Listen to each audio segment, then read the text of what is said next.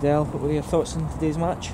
Like I, f- I feel for the boys because I felt that we were, we were depleted today in terms of numbers and we went out and they've defended well throughout the full game.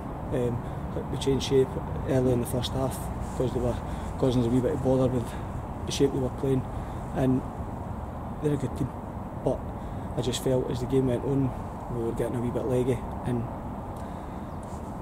we just had to try and see it through and I, I just felt that overall we defended fairly well today as a unit but I just felt that we lacked in the final third today um, and that's probably natural when you're missing as many key players as we are in the forward areas. Do you think being short on bodies that a decision was sort of made at some point that we were going to go for the penalties? No, look, I didn't think that we were ever happy with just going for penalties. I think that the team that we went with, I felt that we were, I felt that we had enough quality on the park, and we, I just felt that we made some poor choices when we were on the ball the day, and we just lacked that wee bit of quality in the final third. On another day, we can then go and maybe have a few more chances than what we did today, but it just wasn't for us um, in regards to the quality in the final third, um, and they they were they had a few chances towards the end of the game.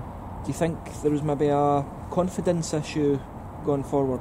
I look, we're missing Dino, Daniel, Jamie, all through injury, illness at this moment in time. Hodges been ill the last couple of days, and you take that's four attack-minded players with your team.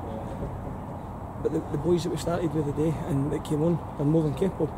Um, but it was just it's just one of the days that it wasn't for us and the attacking third. Do you think there's any moments during the match that we could have maybe sneaked a goal? I think that they had their chances in us. I'm not going to sit here and say that, but look, we, we got down once or twice. But overall, I just I didn't think we were good enough in the final third as a team today.